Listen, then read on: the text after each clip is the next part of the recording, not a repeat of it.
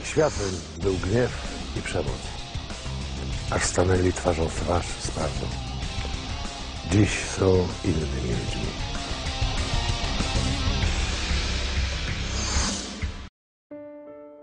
Daniel. Dziś do więzienia przychodzi jako duchowny, kapelan. Ale jeszcze kilka lat temu był tu jako skazany. Odsiadywał wyrok za napady z bronią dokonywane wraz z grupą, do której należał. Teraz swoje życie poświęca na ratowanie kryminalistów. Robi wszystko, by zawrócić ich z drogi przestępstwa. Jestem na właściwym miejscu w swoim życiu. Moje życie, będąc e, duchownym, ma ogromny sens jako człowieka. Daniel jest wicemistrzem Polski juniorów w boksie. Porzuca jednak dobrze zapowiadającą się karierę sportową i wiąże się ze zorganizowaną grupą przestępczą.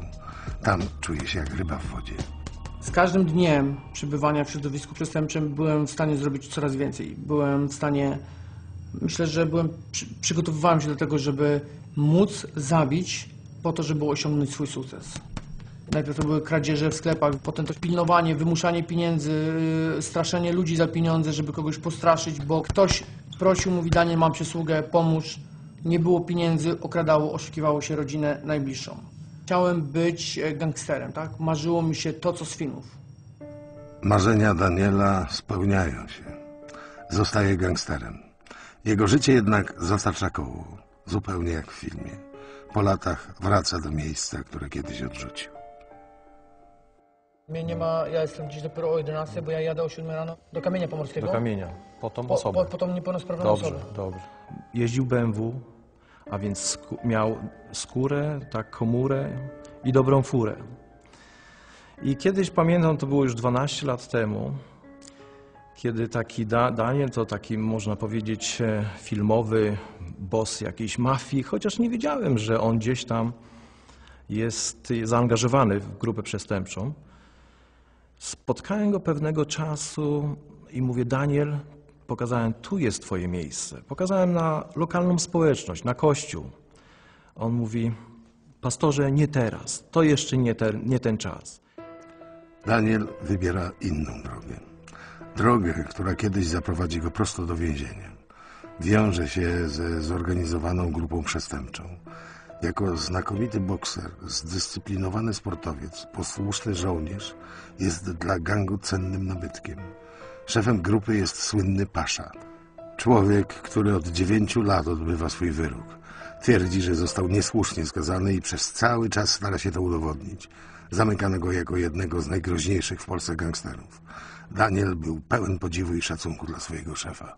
Miałem zaszczyt przez 6 lat e, być przy kimś, kto, e, kto po prostu wiedział, czego chce. Moje zarzuty wszystkie są oparte na pomówieniach Daniela i Mariusza K. Było szereg przestępstw, napady na firmę ochroniarską, napad w Legnicy, napad w Kędzierzynie Koźlu, gdzie nigdy ja nie jestem na miejscu zdarzenia. To Daniel jeździł do Kędzierzyna Koźla, jak sam się przyznał. On znał tych ludzi, on jeździł na obserwacje i on w końcu brał w tym wszystkim udział, do czego się przyznał. Zawsze sobie zdawałem sprawę, że tak do końca mało jest ludzi na tyle odważnych, żeby przycelować i strzelić. Raczej w stresie działamy chaotycznie. Albo się uda, albo się nie uda. Ja tego strachu po prostu nie czułem. Nie czułem wychodząc naprzeciwko ochroniarzy, którzy bronili czasami pieniądze, nie zostawiali. E, tym jakby zabłysnąłem w, swojej grupie, że, że, że się nie boję, że, że idę na całego. Daniel H. zeznał, że on miał swoją grupę. Jest to zeznanie w protokole y, jednej z rozpraw, gdzie na zadane mu pytanie on mówi tak. Ja byłem naczelnym wodzem, dowodziłem, ale on miał swoją grupę, z którą dokonywał przestępstw. Tylko, że ja musiałem mu te plany zatwierdzić, zaakceptować. Broń też rzekomo otrzymywał ode mnie, tylko, że broń znaleziono u niego. Poza tym w Malechowie to prawdopodobnie, znaczy na pewno zlecił Daniel to, tylko nie wiem kto strzelał. Tam się chyba przyznali do tego przestępstwa. Od Daniela ludzie, których ja nawet nie znałem. W naszej sprawie było oskarżonych 22, 22 osoby. Z czego? Z, róż, z różnych części Polski. Ja tych osób nawet nie widziałem wcześniej. Tak zwany gang paszy składa się z groźnych i bezwzględnych przestępców. Taki jest też wtedy Daniel. Napadają na konwoje z pieniędzmi. Towarzyszą temu zawsze strzelaniny. Pozycja Daniela w grupie jest mocna. Planuje i wykonuje wzorowo wszystkie akcje, pozyskuje też ludzi do współpracy. Naszym zadaniem przede wszystkim było wyszukiwaniem e, napadów na konwoje, e, na przewóz gotówki, czy to mm, e, z, z CPN-ów, czy to przewożonych z utargów, e, czy to przewożonych między e, agencjami ochroniarskimi, e, czy zbierane z totolotków, z totalizatorów, czy z innych rzeczy. Czasami było tak, że ochroniarz, który był w naszej grupie, jeden czy drugi, e, będąc e, na służbie, po prostu pomagał, e, nie dopilnowywując pewnych rzeczy. W Legnicy dochodzi do przestępstwa. Daniel H. poznaje na dyskotece w Mielnie dwie dziewczyny. Dowiaduje się, że mąż jednej z nich pracuje przy przewozie pieniążków. Zbiera gdzieś i konwojuje te pieniążki. Daniel nakłania te dziewczyny, żeby zleciły, wystawiły swojego męża, byłego męża, czy tam męża, bo się rozwodziła z nim i tak dalej. Dziewczyny z nim się kontaktują, z tym mężem i razem wspólnie uzgadniają, że zrobią fikcyjny napad. Ale w końcu dziewczyny się zaczynają bać i usiłują się wycofać z tego zdarzenia. Wtedy Daniel H, Daniel H. co robi? Grozi obydwu dziewczynom, że zrobi im krzywdę, a jak nie, to jednemu, to dziecku jednej z nich. Dziewczyny są przyparte do muru, nie mogą się wycofać, bo się go obawiają. Czyli nie był takim i nie jest taki święty, za jakiego się podaje. Były strzelaniny, były napady z bronią w ręku, było tak, że ochroniarze się bronili, nawet wtedy, kiedy oni nie musieli, kiedy oni mogli położyć tą broń, wszystko, on był zabezpieczony, nie, nie ponieśliby żadnych jakby strat, to w amoku często wyciągali broń. Wychodziliśmy czasami z takich wielkich opresji, że jak wracając i robiąc e, analizę tego, co się wydarzyło, zachodziliśmy w głowę, że poszło tyle łusek, a nie było ofiar. Daniel bierze też czynny udział w porwaniach, wymuszeniach i odbieraniu haraczy. Okrutnymi metodami maltretując i okaleczając ludzi zmusza ich do uległości. Ból i cierpienie nie robią na nim najmniejszego wrażenia. Traktuje to tylko jako sposób na zarabianie godziwych pieniędzy. Odbieranie długów, wymuszanie rzeczy, które są czyjeś i musisz wymusić od niego skruchę, złamać człowieka, a czasami człowiek, pomimo to, że nie jest w bandytce, potrafi się zaciąć.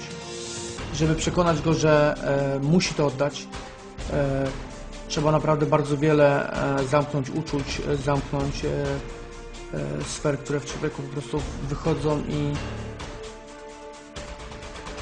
no do tego, do tego stopnia, aż, aż człowiek nie pęknie. Trochę krwi w swoim życiu widziałem. Myślę, że krew robiła coś takiego we mnie, że stawałem się coraz twardszy. Że człowiek był odporny na to, że jeśli ktoś płakał, że należało po prostu na to brać jakąś poprawkę, nie? Nie ma znaczenia, czy, czy, czy, czy, czy, czy to jest wielki płacz, czy to jest mały płacz. Odnoszę wrażenie, że był bezwzględny. Po prostu cel dla niego był najważniejszy. Cel uświęcał środki. Yy, Nawet zwracałem mu uwagę, bo przypuszczałem, że robi takie, takie rzeczy. Był narzeczonym mojej siostry i powiedziałem, żeby nie zajmował się takimi rzeczami.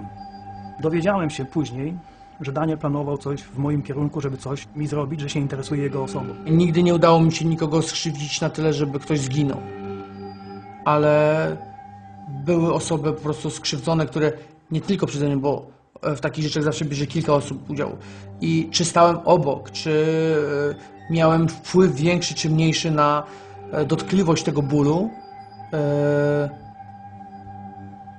zawsze było to samo, nie? Zawsze był współudział, zawsze mieliśmy ten sam cel. Odebrać, zmusić, przymusić. Daniel działa z grupą przez 6 lat. Czują się bezkarni i mądrzejsi od organów ścigania.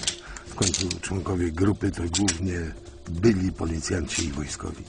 Nie przewidzieli tego, że mogą wpaść, a jednak cała grupa zostaje aresztowana. Nigdy nas szef nie nauczył tego, że możemy być złapani. Myśmy się czuli bezkarni. E, W naszym przekonaniu było to, że e, szybciej się sami pozabijamy, niż nas policja złapie. E, Nasza grupa miała zawsze jakiś tam dobry układ od strony szefa z policją, więc nie mieliśmy jakby takich nadzwyczajnych obaw. Nie byliśmy bandytami, których można byłoby ściągać, e, nie mieliśmy na swoim koncie morderstwa. Najpierw aresztowali jedną osobę, drugą osobę, potem mnie, potem następne osoby. Po jednym napadzie jakby dochodzili do tego, że to grupa jest więcej znacząca. To było dla mnie zawalenie się świata. Ja miałem za dwa miesiące się żenić. Byłem zaręczony z siostrą mojego szefa. Mi się świat przewrócił. Ja miałem bardzo duże pretensje do Pana Boga za to, że jestem w więzieniu i wydawało mi się, że kimkolwiek ten Bóg jest i cokolwiek zrobił, e, niesprawiedliwie zrobił tak, że tam byłem. Myślałem, że to Bóg mnie wsadził do więzienia. Tak sobie to przynajmniej tłumaczyłem, że po prostu Bóg mnie ukarał, nie? I jeszcze wtedy nie, nie cofałem się do tego, że przecież ja chciałem zabijać, nie? Że miałem plan. Myśmy naprawdę mieli takie przygotowane plany, które trzeba było wejść bez maski, zapukać do drzwi, najpierw pierwszego ochroniarza wykończyć, drugiego i wejść do skarbca. I to były rzeczy proste. Kiedy ja się przyznawałem, e, sam zostałem prawie że postawiony pod zarzutem e, kierowania grupą przestępczą. To, że byłem w bliskich kontaktach e, z szefem, nigdy nie dawało mi prawa do podejmowania decyzji. Kiedy siedziały vis-a-vis mnie osoby i zeznawały na mnie i mówiły, że Daniel, Daniel, Daniel, Daniel, Daniel, e, czułem, że to jest nieprawda. Moje zeznania już były bardziej obroną już tylko siebie. I albo ja dostanę 5-6 lat, albo e, ktoś, e, albo, albo ja dostanę 11. Pieniądze, które miały być e, wspólne, które miały iść z napadów na e, adwokatów w razie jakichś tam wpadek, bo taka była ewentualność. Ale myślę, że te pieniądze po prostu nigdy nie istniały jako skarbonka. Pomimo to, że mówiło się o nich, e, to nigdy nie istniało. Nikt nie przypuszczał, że nagle może cała grupa po prostu popłynąć. E,